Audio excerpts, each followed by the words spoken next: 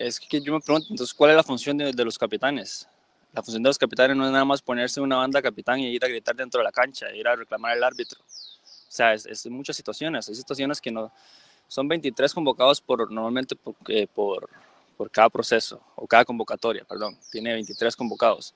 Y muchas veces son jugadores diferentes. No podemos reunir los 23 jugadores o 18 jugadores con el presidente para hablar situaciones del grupo. O sea, tienen que ser los capitanes y los capitanes, los capitanes hablamos con la experiencia del grupo. En su momento, cuando nosotros iniciamos, lo hizo Eric Lonis, lo hizo Walter Centeno cuando fue capitán, Luis Marín, eh, José Francisco Porras, Reinaldo Parts, recuerdo. O sea, es algo normal que los capitanes se sienten a hablar en beneficio del grupo, pero nosotros nunca hemos hablado con un entrenador para decirle traiga a este jugador, no traiga a este jugador, ponga a este ponga al otro.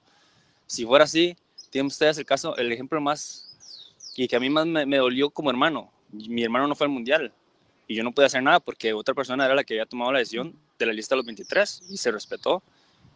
Pero como les digo, humanamente a mí me hubiera encantado que, que, que Jendrik fuera al mundial porque hasta pensé que se lo merecía por lo que estaba hecho y por lo que había mostrado en ese momento, pero no fue así.